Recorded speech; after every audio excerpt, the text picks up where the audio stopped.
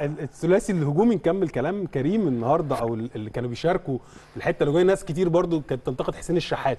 اللي الناس تعرفوش إن أرقام حسين الشحات ومجهوده في المباراة كان مديله أعلى ريت الناس اللي هي بتاعت اللي بتقيم الإحصائيات. والاستاد. آه. آه يعني النهارده أكتر واحد هو من المحاولات بتاع يعني دي مقارنة بين الثلاثه اللي كانوا بيشاركوا في الجانب ال- الهجومي. آه. آه، كلهم لعبوا فوق ال 80 دقيقة. بنتكلم حسين الشحات سجل وكهربا سجل.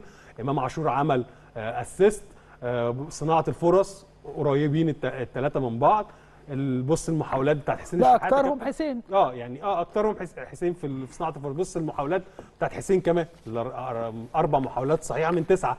آه، كهربا ثلاثة من خمسة. آه، يمكن إمام اتنين من ستة. أنا عشان كده بقول إن الشوط الأول إمام كان عامل مجهود كبير قوي لأن كان بيحاول يعوض الدور الهجومي اللي ما بيعملوش آه، ديانج. دقة التمريرات بتاعتهم كلها آه، قريبة من بعض باستثناء برضو إمام سنة مع إنه كان أحد نجوم آه، المباراة.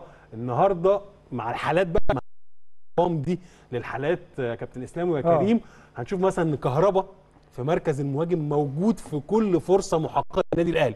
حتى النهارده ده معناه إيه؟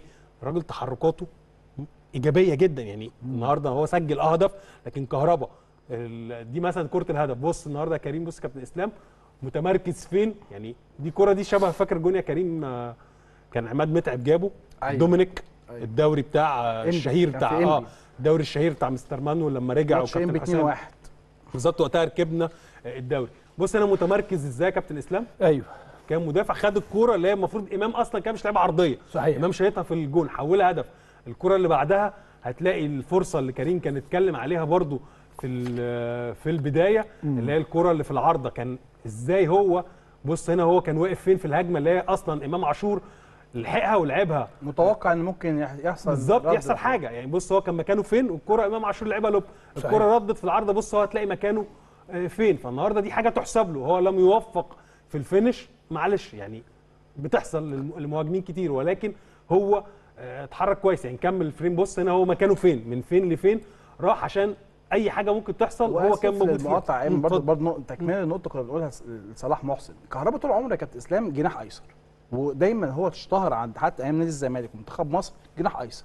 لما بدأ يجي النادي الأهلي وبدأ يتوظف في مركز المهاجم الصريح شوف هذا التحول في وقت قليل.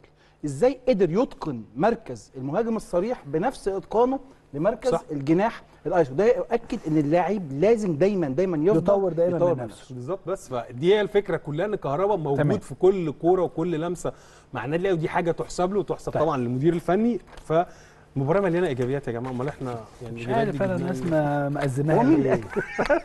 لا أشوف هاتولي اللي قالت الكلام ده